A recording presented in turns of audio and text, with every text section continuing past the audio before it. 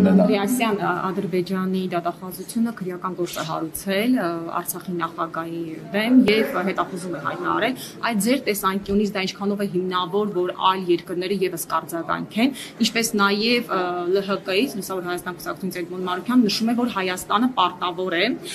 այն երկրներում, որտեղ կա ընդհանուր իրավազորություն, փաթեթներ ուղարկի Ադրբեջանի ռազմական հանցագործությունների որոշումները կայացրած ներկայացուցիչների դեմ քրեական գործեր հարուցելու համար։ Այդ ձեր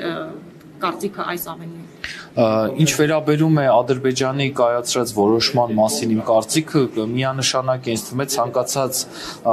ողջամիտ մարդ, ես նույնիսկ չեմ ասի ցանկացած հայաստանցի, հասկանում է, որ այդ քրեական գործը որևէ իսկական իրավական, միջազգային իրավական հիմքեր ունենալ չի կարող եւ այն ինքնապաշտպանությունը, որը իրագործել է մեր ժողովուրդը նաև նաև Արցախի ժողովուրդը սանձազերծված Ադրբեջանի կողմից սանձազերծված պատերազմի արդյունքում այստեղ իրավական հետապնդում անել ինքնապաշտպանության համար ինձ թվում է անտրամաբանական է